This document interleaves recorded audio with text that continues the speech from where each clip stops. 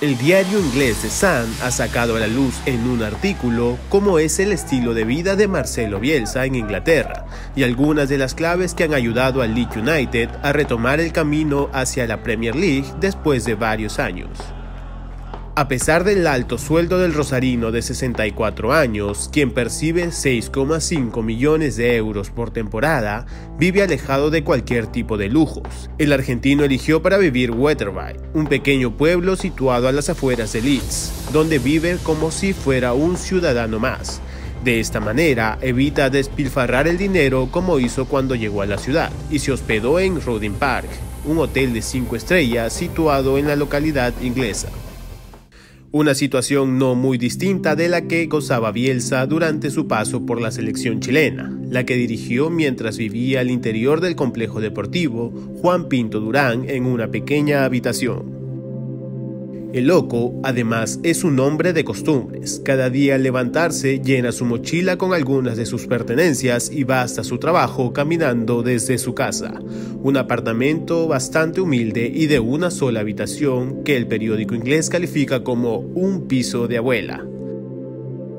El héroe de Leeds vive a 5 kilómetros del Tor Arc, lugar donde entrena su equipo y tarda en realizar un trayecto unos 45 minutos de ida y otros 45 a la vuelta. Asimismo, el loco realiza la compra en los mismos supermercados a los que suelen ir los ciudadanos de a pie, y se le ha podido ver en algunas fotografías que han subido los aficionados junto al entrenador mientras realizaba sus compras.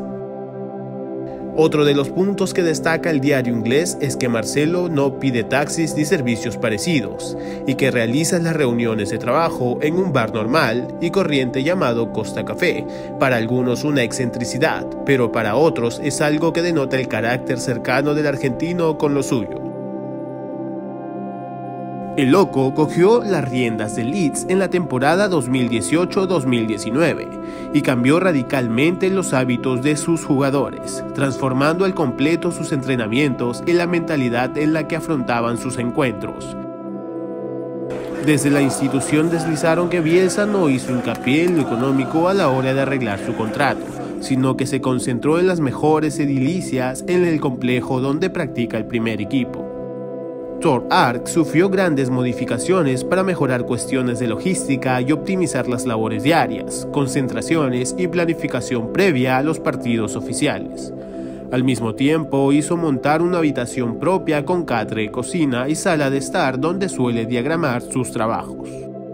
Camas para que los jugadores descansen entre los dobles turnos y área de esparcimiento abastecida con mesa de pool y PlayStation fueron algunas de sus peticiones. La piscina que existía también fue refaccionada para la comodidad de los miembros de su plantel, a los que compromete con el cuidado y limpieza de las instalaciones. A Marcelo le acompaña también en su día a día su mujer Laura Bracalenti, de la que prácticamente no existen fotos ni declaraciones. Prácticamente lo único que se conoce de ella es la anécdota de que recomendó a su marido cuando llegó a Francia a entrenar a Lille, que sonriera en las conferencias de prensa. Como vemos, Marcelo Bielsa es un entrenador algo distinto del resto y ha conseguido que el conjunto al que entrena haya renacido de sus cenizas como el mítico Ave Fénix. Y quién sabe si con esto algún día vuelven a convertirse en el temido equipo de antaño.